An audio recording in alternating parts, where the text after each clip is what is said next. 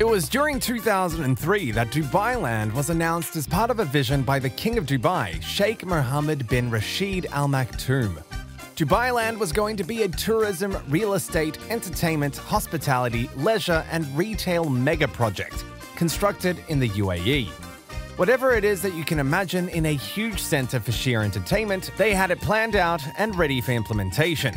This is not to say that the project was only ever an idea. In fact, a lot of work was already completed and millions of dollars were already spent on this mega project. It was only six years later that it was decided that the project would not be pursued any further and discontinued completely. So, what happened there, and how was it that the world's greatest theme park never happened? Let's find out in this video. The world's greatest theme park, or Dubailand, would have covered an area of 3 billion square feet, which is absurdly large compared to any entertainment area in any part of the world. Interestingly enough, its initial infrastructure would have been built at the cost of more than 650 million pounds as well, which was worth considerably more about 20 years ago. The Dubailand theme park area was planned to contain 45 mega projects and over 200 sub projects. Understandably, this would have made it the most ambitious tourist destination ever created. Was it allowed to be complete, Dubailand would have been twice the size of the Walt Disney World Resort in Florida, making it the biggest theme park in the entire world. The various projects which were being built in Dubailand would have been categorized into six themed zones. Each of these zones would have focused on a different aspect of the Dubailand experience. Let's have a look at what got planned. Attractions World would have been the first zone that would feature a critical mass of themed and large-scale attractions. The second zone, Experience World, would encourage the growth of visits to other attractions within the world by showcasing relevant graphics. Sports World, the third zone in Dubailand, would have included a mix of sporting venues that would incorporate a dynamic program of international cricket, rugby, and plenty of other sports tournaments. Ecotourism World, the fourth zone, would comprise a series of nature and desert-based attractions. Themed Leisure Vacation World would have made the fifth zone, which would have been essentially an area with a huge number of resorts. Finally, Entertainment World would have been the sixth zone, a mixed destination that would offer a variety of dining, retail, and entertainment facilities. Dubailand was planned to be built in four major phases, each of which was supposed to last for five years. The first phase of development would last from 2005 to 2010 and included the development of initial roads and infrastructure in the area. This would have been followed by the unique leisure and entertainment products until it was entirely completed by 2020. So, if whatever it was that stopped the theme park from happening did not happen, this theme park would have been open to the public by now. One of the first things that actually got constructed was the Dubailand Sales Office.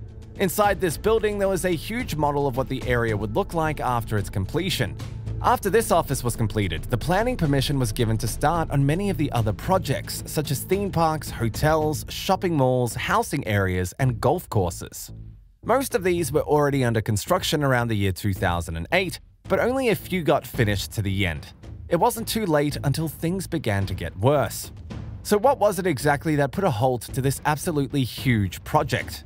The answer lies in the financial crisis of 2008 and 2009. Much of the construction was underway for Dubailand when the global financial crisis hit the world.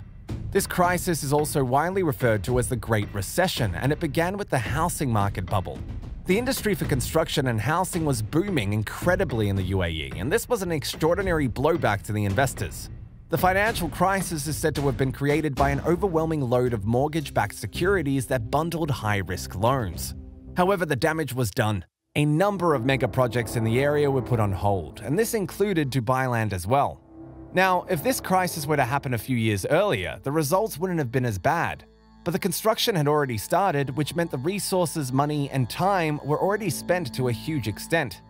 The entire workforce behind this huge project was also fired immediately, and they had to leave the cities as well.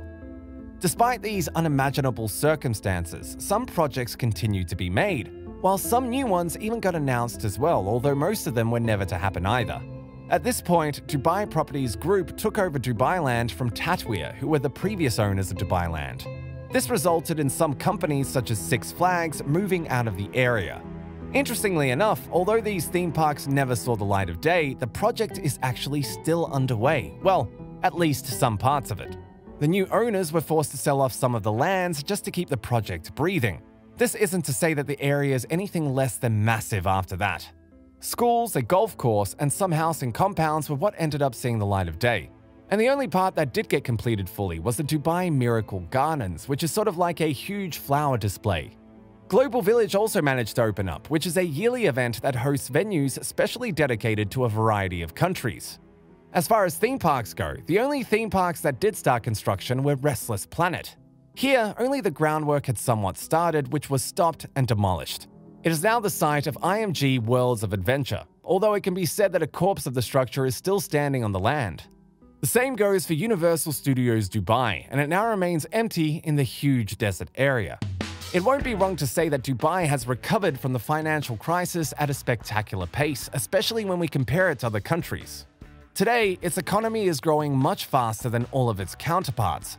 Much of it can be attributed to the zero tax policy in the economic free zones. It was during mid 2013 that construction on this project actually began to resume. Later updates in the project reflected that an amount of 55 billion USD had already been raised towards the works.